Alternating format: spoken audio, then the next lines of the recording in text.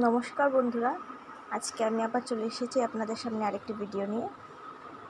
তো আজকে আবার সিডিপি থেকে যে কাল আমি দশটা কোয়েশ্চেন দিয়েছিলাম, আজকে বাকি পনেরোটা দিয়ে দেব।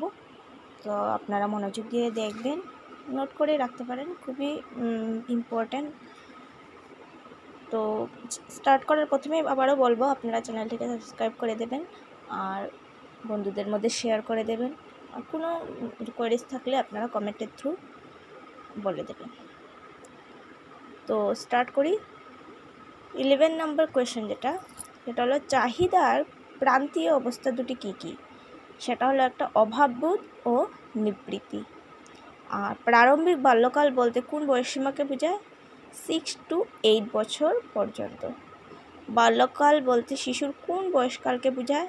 বাল্যকাল বলতে শিশু ছয় থেকে বারো বছর বয়স পর্যন্ত সময়কালকে বোঝায় আর প্রান্তীয় বাল্যকাল বলতে কোন বয়সীমাকে বোঝায়? নয় থেকে বারো বছর বয়সকালকে। বয়ঃসন্ধি কাল বলতে কোন বয়সীমাকে বোঝায়? বারো থেকে বিশ বছর বয়স পর্যন্ত। প্রাচীন শিশু মনোবিদ্যাকে বর্তমানে কি বলে? বিকাশমূলক মনোবিদ্যা বলে।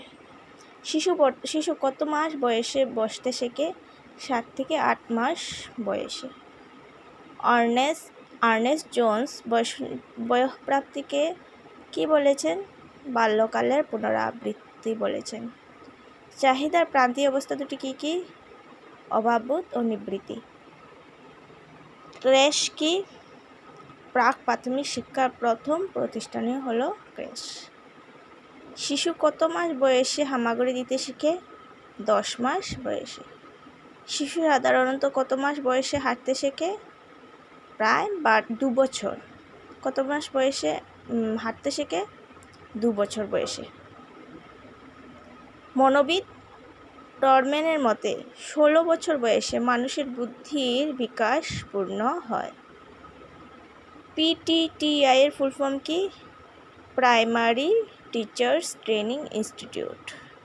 Next, Montessori কী ধরনের শিক্ষা প্রতিষ্ঠান?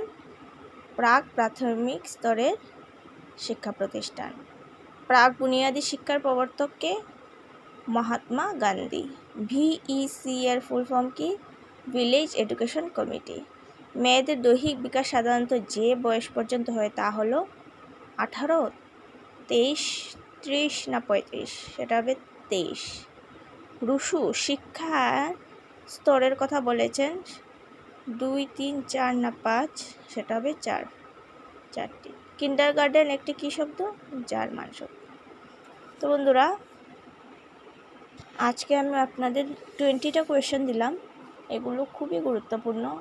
আপনারা এগুলো নোট করে রাখবেন, খুবই কাজে লাগবে। তো কোনো ধরনের কোনো জিজ্ঞাসা থাকলে বা এখানের মধ্যে যদি কোনো মিস্টেক থেকে থাকে, আপনারা আমাকে বলবেন প্লিজ ধন্যবাদ।